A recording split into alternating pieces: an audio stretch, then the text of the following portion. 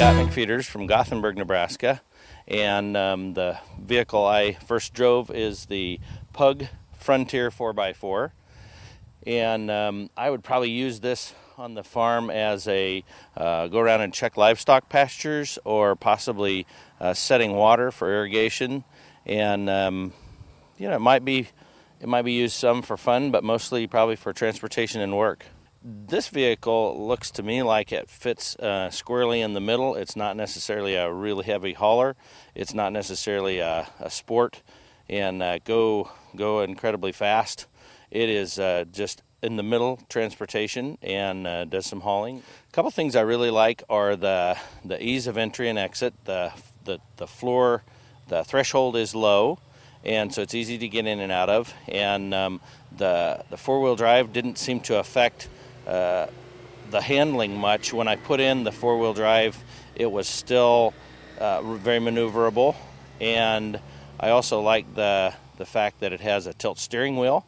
Uh, a little easier for bigger guys to get in and out of there. I guess it has a couple of good sturdy storage areas, one under the seat and one under the front hood. Uh, is one of the things I liked about it is the more storage and it's right underneath here.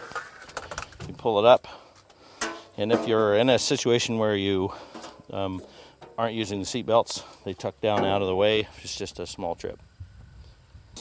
Uh, that's something else that I really liked about it is it has resettable breakers right here and most of the rest of them are fuses and if you don't have an extra fuse or you don't have a fuse you have to start improvising but this is really nice where you just push the push the circuit breaker and reset it.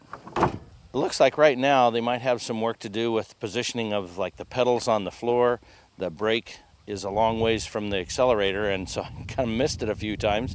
And also the, the park brake is a little hard to apply and release. And so just some of the small, uh, I guess I'd say creature features or creature comforts, how they operate. And so uh, also I think there's probably going to need to be more travel in their springs and um, possibly a different rear suspension. It has leaf springs now, and those are a little bit hard to have a lot of load carrying ability and still have spring travel.